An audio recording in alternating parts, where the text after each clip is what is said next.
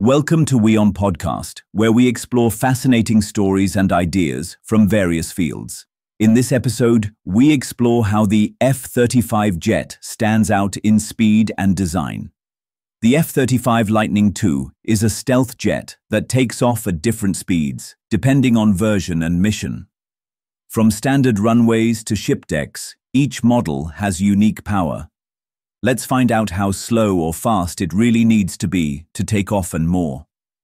The Lockheed Martin fighter jet is a fifth-generation stealth fighter jet used by air forces worldwide. There are three types, F-35A, standard runway, F-35B, short takeoff, vertical landing, and F-35C for aircraft carriers. Each version is built for unique missions and special takeoff methods. The minimum takeoff speed is the lowest speed a jet needs to take off. For the F-35 DA, this depends on design and use.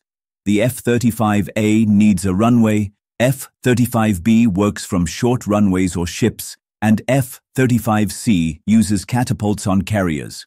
Each has a different speed requirement for takeoff. The F-35A, mainly used by air forces such as the US Air Force and the Royal Air Force, needs about 165 knots, or 305 km per hour, to take off from a standard runway.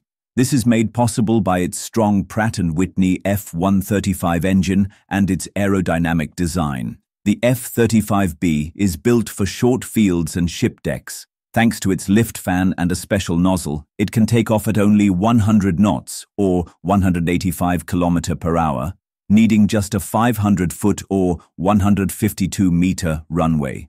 This jet can take off and land vertically. This makes it ideal for the Royal Navy's HMS Queen Elizabeth or small air bases. Carrier-based F-35C jets are catapulted off U.S. Navy aircraft carriers. The catapult launch brings the F-35C up to about 130 knots, 240 km per hour. Its large wings and strong landing gear let it fly from ships in the roughest seas. Correct takeoff speed is vital for a safe and successful flight. If the jet is too slow, it cannot lift off. If too fast, it can be damaged. The F-35's controls, computers, and pilot training make sure each takeoff uses the right speed for the mission and the environment.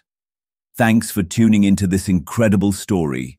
If this episode resonated with you, don't forget to hit the like and subscribe button for more captivating stories to come. Stay tuned.